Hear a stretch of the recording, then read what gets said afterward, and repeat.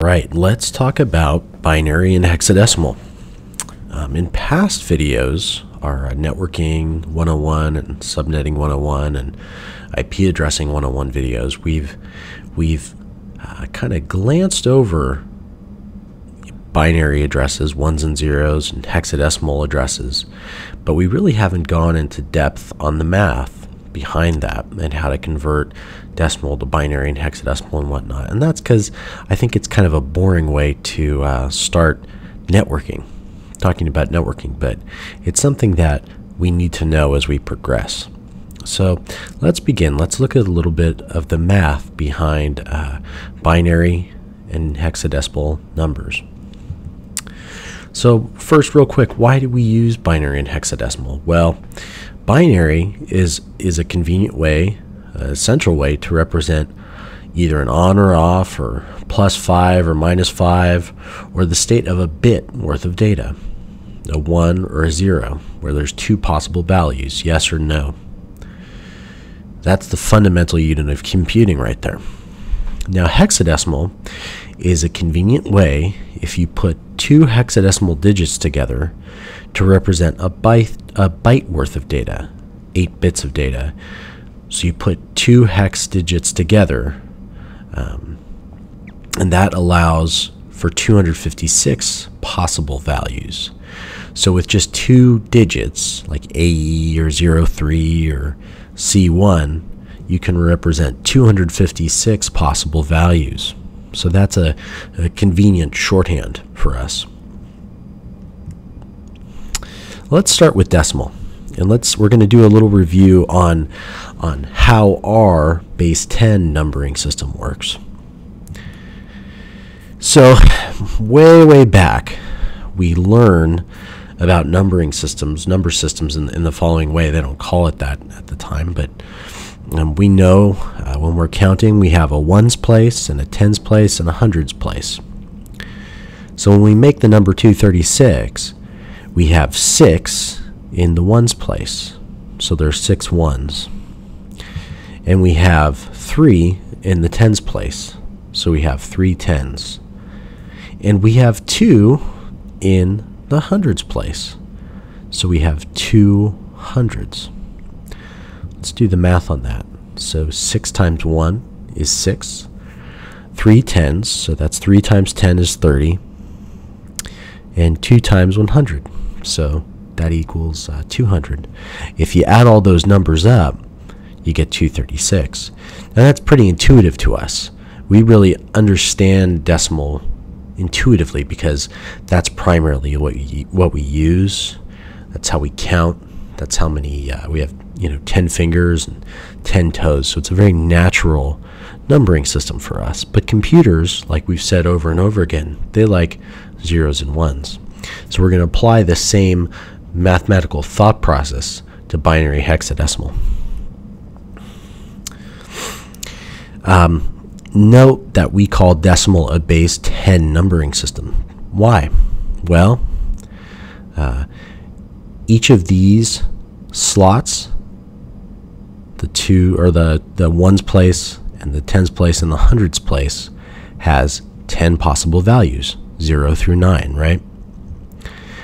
And each time we go uh, from the ones place to the tens place and the tens place to a hundreds place, we have a 10 times increase in the value. So the next after this would be the a thousands place. So 10 times, 10 times, 10 times. So we call this a base 10 numbering system. Similarly, we are going to see base 2 numbering system and a base 16 numbering system. Let's talk about binary by or to. So let's convert uh, the same number 236 to binary. There it is 11101100. But how did we do that? How did we convert? Well, let's take a look. We have a 0 in the ones place. We have a 0 in the twos place. But we have a 1 in the 4's place, meaning we have 1 4, and a 1 in the 8's place. We have 1 8. No 16s, but 132, 164, and 1 128. So let's do that math. 0 times 1 is 0, 0 times 2 is 0, because we have a 0 in that place. We have 1 4, 1 8, 132, 164, 128. If you add all those numbers up, you get 236. Okay? Notice be, be, be below the binary number here, we have the value of each place. If, if, if these values right here are set to 1, that means we get a 128. We get a 64. We get a 32. We don't have a 16. We get an 8, a 4, and we don't have a 2 or a 1. The sum of all these values, again, 236.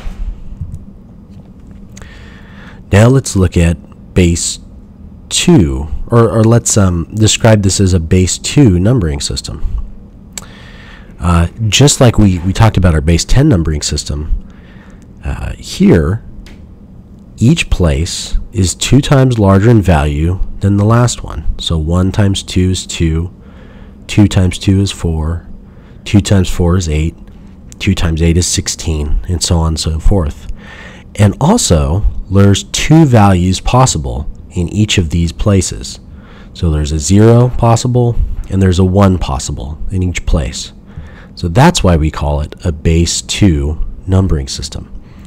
And we could follow these rules, of course, to go off to the left here. So 256 and 512 and 1024 and so on and so forth. Times 2 times 2 times 2. That's a base 2 numbering system. Let's talk about hexadecimal. Same number represented in hexadecimal. So, here we have an E in the 16s place, and we have a C in the ones place. That represents a whole byte of data. A lot shorter, a lot easier to read than binary, I think you'd agree. So here we go again E and the 16, C, and the 1s. Same as same processes we were doing before with decimal or binary. We have the 1 below here, so this is how many 1s we have, and we have 16 below here. So this is how many 16s do we have. So let's do the math. In this case, C is representing 12 for us. And so we have 12 ones and 14 16s. E is representing 14, so 14 16s. So 12 plus 224 equals 236. But how did we get from 14 and 12 to E and C again? So let's just check that out. So in hexadecimal, we run out of normal digits, meaning 0, 1, 2, 3, 4, 5, 6, 7, 8, 9. But we want to have 16 values represented. And we only have 10 numbers. So we borrow six letters A, B, C, D, E, and F. So down here, the numbers correspond to their number, you know, 1 is 1, 2 is 2, 3 is 3, so on and so forth. But then after we run out of numbers, we use letters. So a is 10, B is 11, C is 12, D is 13, E is 14, and F is 15. So, back here, we have a C in the ones place, and we said C is our stand in for 12, so 12 ones, and E is our stand in for 14, so 14 16s, 224. So there's our math. Same rules apply. Each place has a value that is or is 16 times larger. So binary is 2 times as large, decimal is 10 times, 1, 10, 100, 1000. Here it's 16 times larger every time. So 1, 16, 256, and so on and so forth. And also, there are 16 possibilities for values in each place.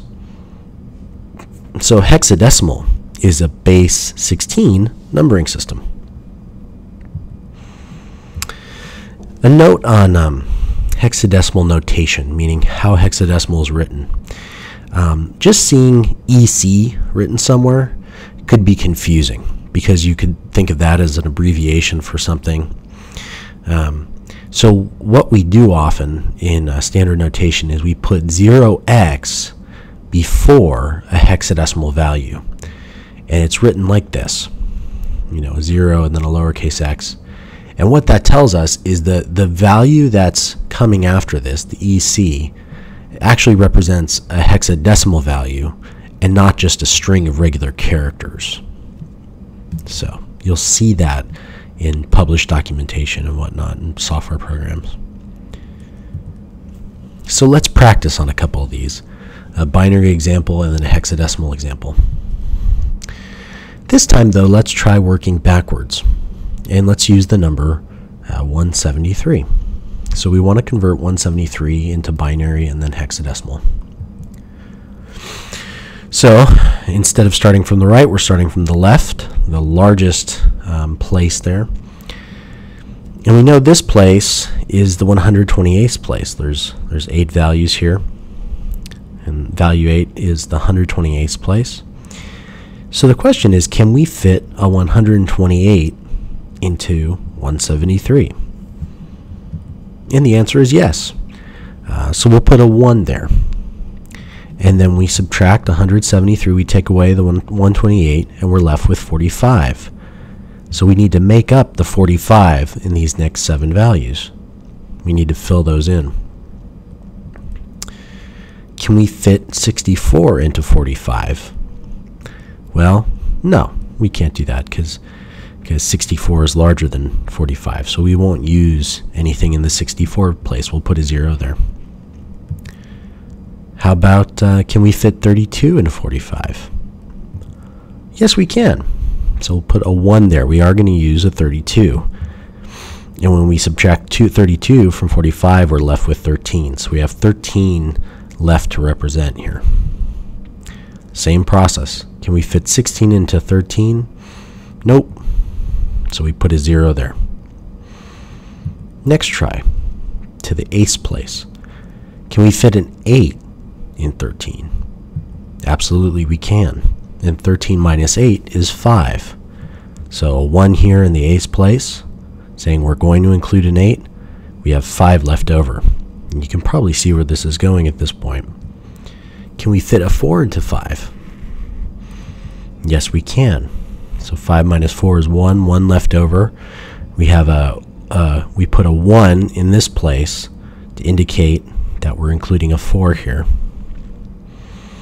and we have one, the number one, left over to represent in binary. Can two fit into one? Nope.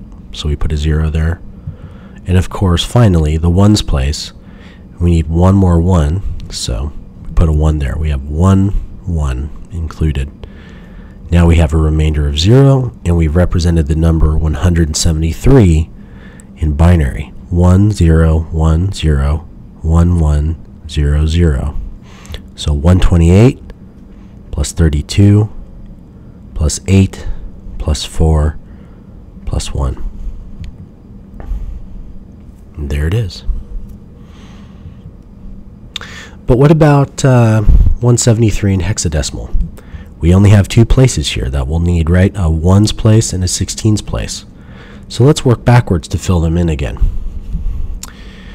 So let's divide 173 by 16 to see how many times 16 will fit into 173. And for the time being, we'll discard the remainder. We're not gonna we're gonna put it aside. So 173 by 16 is 10. Again, discarding the remainder. So in hexadecimal, we have 0, 1, 2, 3, 4, 5, 6, 7, 8, 9 and then A represents 10. So we're going to slot A into the 16s place. We need 10 16s. 10 times 16 equals 160. So when we divided 173 by 16, we got 10, and we had a remainder. We had leftovers of 13. So this means we need 13 in the ones place right here, little blue highlight. So we'll look at our hexadecimal numbers, and we know that we have 0, 1, 2, 3, 4, 5, 6, 7, 8, 9, 10, 11, 12, 13. D represents 13 for us. So we'll put a D in the ones place. Now I've chosen an example that has two letters used. But remember, these are actually hexadecimal values. We could have had a number and a letter or two numbers here just as easily. But they're representing hexadecimal values, the ones place, the 16s place. If we went farther to the left, obviously the 256 place, and so far. So 14 16s is 160, and then 13 ones. So in total, we have 173 written in hexadecimal, AD. There it is. So now we've completed our conversion. There with our uh, nice little notation there, 0x AD, but really it just hexadecimal values AD. Very convenient shorthand to represent a byte worth of data. 256 values in, in just these two short places. Very nice. And the uh, last thing to remember here, when we're thinking about values, 0 to 255 represents 256 values. So the 0 counts as an option. Remember in um, binary and decimal and hexadecimal, and in networking in general, we start counting with the 0. The 0 counts as a possible value. So when we say we have 256 options in a byte, that means we have option 0 through option 255. All right, so that's a real quick introduction to uh, binary math and hexadecimal math. The best way to get good at this is just to practice over and over and over again, and then check yourself with a calculator. Any calculator, calculator, uh, really like a scientific or a programmer calculator included in a computer, has a built-in conversion to binary and to hexadecimal. All right, thank you.